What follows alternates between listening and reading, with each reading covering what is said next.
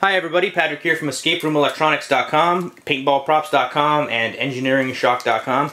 Uh, sorry for the poor lighting and for the wide shot here. Uh, this is a really large prop uh, and uh, the only way I can show you all of the hardware uh, in the first shot is by placing everything on the floor here. So what this is, is this is a, uh, a laser-based prop.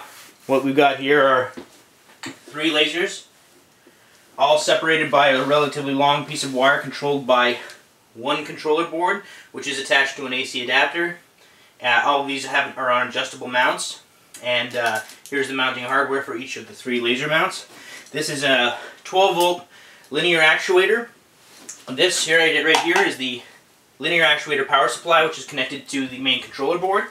The main controller board is connected to three sensor boards. The light sensor is right in the middle of each board. It'll be very difficult for you to see, but I'll uh, offer a close-up in a minute. This is a wireless transmitter to wirelessly control the state of the uh, linear actuator. This is the uh, main board controller right there. Uh, sorry, AC adapter, which powers the main board. And this is the uh, uh, reset key, which plugs into the main board. It's mountable, it has a mounting nut, and can be removed for mounting and plugged right back into the board easily. So, let me give you a demonstration. So when I power up, you'll notice that the lasers all turn on. Uh, might be a little bit difficult for you to see. Uh, in a uh, with a, a, steam, mist, smoke, dust, you can actually see the laser beams. You can't see them uh, in this light, but you can see that the lasers are on. Again, they're powered by one AC adapter. And these lasers can be bounced off adjustable swivel mirrors, um, or they can be aimed directly at the, uh, the three sensor boards. And what I'll do is, for the sake of making this demonstration a little bit simpler, I'll put all of the sensor boards right close to each other and I'll use the flashlight on my phone, which is blinding, to activate the prop. Now on power up, um, the wireless transmitter, that's the only time you'd use it. You can use it to manually extend or pull the uh, the plunger back all the way if say a power outage happened and and uh, it was in the wrong state. The main power up state is with the the uh, the plunger fully uh, um, pulled in. So what happens is is when I when all of those lasers are lined up on the three sensor boards, the actuator extends all the way out, and that will uh, act to open a uh, act to open a, a drawer or uh, a door, however you want to use this prop. The actuator comes with mounting hardware, but what I'm going to do is I'm going to stop the video now, I'm going to ready my phone, I'm going to show you what happens on power up and how this actually works. As you can see, I've put the laser boards together, I've got my flashlight on, and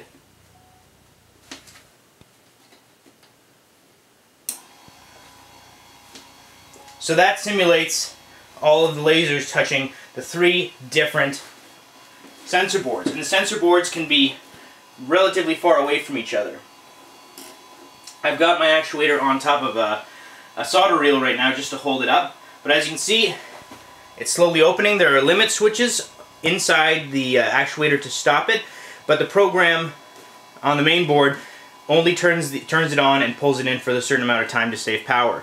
Not that that's a real, not that that's really important, but it's uh, a nice to have. And uh, it certainly helps with the voltage regulation on the main board. Uh, I mean, relative to stressing it. So now, the only way to pull back, the wireless um, transmitter doesn't do anything at this point. The only way to reset the game is to turn the key. Now you can turn the key back at this point, it doesn't matter. I'm going to leave it turned just to show you that there's uh, um, a reminder on the main board. If you leave it turned uh, after it's fully uh, pulled back in, what happens is is the red and the um, green LEDs on the main board flash until the key is in the left original default state. So it's a very, very simple prop relative to how it operates. It comes fully assembled uh, in this form of, upon purchase. I'll place the link below when I have it listed at escaperoomelectronics.com. So now it's reset. There's a reminder. The red and green uh, LEDs, you won't be able to see it, but on the main board they, they say Red is backward, green is forward. Turn the key back to the default state. So again, at this point, I can uh, I can uh, use the transmitter to extend or pull back. Uh, I believe A is forward. Nope, that is pulled back. So now the uh, unit is, is essentially telling the actuator to pull back, but the uh, limit switches are stopping it. No harm done. Uh, it just takes about 30 seconds for that to uh, end. Now to, uh, what I can do is just reset, power off, power back on, and I can press uh, B on power up when, when the device has reset. So this is just kind of a nice to have. It's not really, it's not really, it's just kind of a just in case, just in case the uh, power, uh, there's a power issue during the game, pow, uh, power outage, and the plunger is in a weird state on power up. That's where the, the wireless transmitter comes into play. So let me show you the, uh, the lasers before I end this video. Uh, the, really the rest is up to you. I design the electronics, you make it your own. Uh, so now let me just show you the lasers. I'll give you an idea of how they work and then I'll end the video. The AC adapter to the lasers powers one regulator board which feeds power directly to three different lasers in parallel. The wires going to the regulator board to each laser is about uh, half a meter long and uh, as you can see these are on uh, adjustable mounts.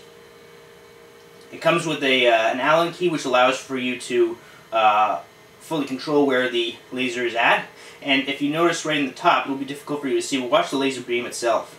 You can focus it, and you can unfocus it. Now, unfocusing it means that it's, it's essentially transmitting a lesser, uh, less, uh, the, the power of the laser is essentially uh, dull, but the beam is thicker. So if you're having trouble lining up with your sensor, you can uh, unfocus the laser if you like. But if you're aiming this at a wall, it's very easy to focus or unfocus. You aim it at the wall, and then you just gently turn the head to get your desired focus. So all the lasers are on right now, and I can use a little switch on the board to turn it off. Turn them all off. It's not. It's uh, regulated 3 volt circuitry. It won't hurt you. Even the input 9 volts won't hurt you. So it's a very very simple prop. Uh, works great. Comes fully assembled right out of the box. You determine how you want to use it. This can be found at escaperoomelectronics.com. I'll also be putting it up at um, paintballprops.com. And uh, as always, check us out at engineeringshock.com for all other interesting gadgets. Thanks for watching, everyone, and have a great weekend.